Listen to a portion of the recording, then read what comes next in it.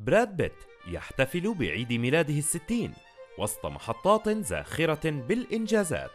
فتعالوا لنستكشف بعض محطات نجم هوليوود.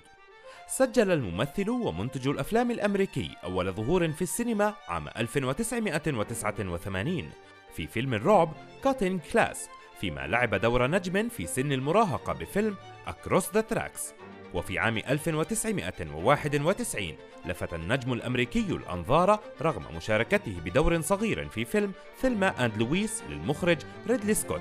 نجم هوليوود نال أول بطولة مطلقة في فيلم The Dark Side of the Sun عام 1988 لكنه عرض عام 1997 التحول في حياة بيت الفنية كان في بداية 2001 حينما ظهر بشكل جديد في فيلم Spy Game من إخراج توني سكوت بمشاركة النجم روبرت ريدفورد ليصبح من عمالقة نجوم هوليوود وينطلق بعدها في أفلام Ocean's 11 و Troy و Inglourious Basterds و Fury وغيرها.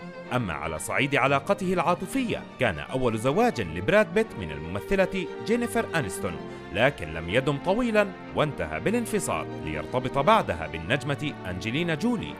وينجب منها ثلاثة أطفال إلا أنه أعلن عن انفصالهما عام 2016 نجاحات وإنجازات عديدة حققها نجم هوليوود.